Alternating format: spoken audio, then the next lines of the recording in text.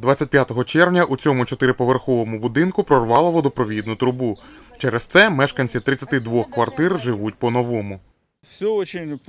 Все дуже погано відбувається. Неможливо сходити ні у туалет, нікуди. Ось користувались, по магазинам купуємо воду. Користувались водокачкою, але вчора і там перекрили воду. Ну добре, хоч прислали нам машину з водою вчора, то можна було набрати у необхідній кількості. Подобної ситуації у нас Подібної ситуації у нас не було. Це ось за 62 роки вперше ця труба. Вона не мінялася з будівництва будинку. Мешканці звернулися до житлово-експлуатаційної дільниці, яка обслуговує їх будинок. Нам сказали, що Нам сказали, що нашим тарифом ремонт не передбачений мереж.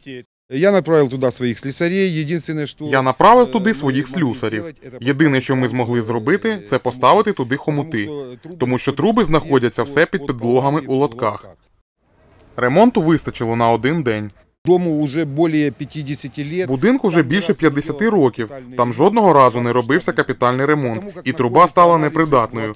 Тому як знаходиться, вона лежить у лотках, як і я вам пояснив, і вона стала непридатною від часу. 26 числа я написал письма на департамент жилищного 26 числа я написав листи на департамент житлово-комунального господарства до заводської адміністрації і звернувся до нашого депутата Карцева В'ячеслава Миколаєвича по допомогу. Тому що склалася така ситуація, я розумів, що ну якби люди залишаться без води. Ми зменшили напор води, що подається на будинок. Мешканці отримували воду до третього поверху, четверті поверхи не отримували воду. Але 27 числа сталася конкретна аварія. Ми вже нічого не могли вдіяти. Мешканці будинку намагалися вирішити проблему іншим шляхом. Просили допомоги у департаменту житлово-комунального господарства міської ради. Звернулись до департаменту. Там сказали, що грошей немає. Дали підрядника, котрий порахував нам це все у 25 тисяч. Ну і запропонували сплатити це самим. Допомогти мешканцям чотириповерхівки взялося комунальне житлово-експлуатаційне підприємство. Кажуть, все законно. У нас ввели з минулого року таку функцію, як управління, і ми можемо виконувати роботи по всьому місту, в інших містах. Тобто є замовники робіт. Так, і ми можемо виконувати де завгодно, що завгодно, ну в залежності від нашої компетенції. Обіцяють розпочати ремонт 6 липня зранку і впоратися не більше ніж за два дні.